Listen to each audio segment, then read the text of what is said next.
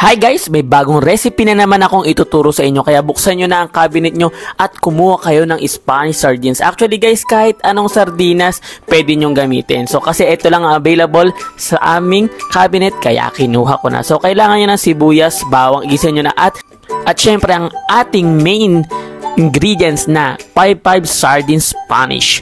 So guys, ah, hindi sponsor yan ah, pero baka naman. So ayun guys, nilagyan ko siya ng dalawang lata ng 55 Spanish sardines and then haluin lang natin ng mabuti. So, ang ginawa ko pala dyan is dinurog ko siya ng maliliit para mas marami at mag-scattered ang kanyang mga laman doon sa pansit. So, ayan guys, halo-haluin lang natin. Lagyan na natin ng paminta negra in Espanyol in Tagalog, paminta. So, ayan guys, mas maraming paminta, mas masarap kasi mahilig kami sa medyo maanghang-anghang. Pero guys, ha, maanghang na pala ang Spanish sardines kaya wag na masyadong maraming paminta. So ayun guys, nilagay ko na rin ang ating pansit. Binabad ko na yan sa tubig kaya naging ganyan. Medyo lumambot na siya.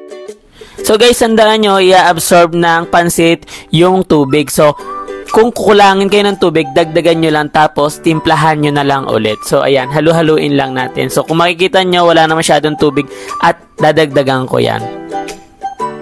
So ayan na, nilagyan ko siya ng parmesan cheese kasi ayun din yung mag mag-a-add ng taste sa ating pansit.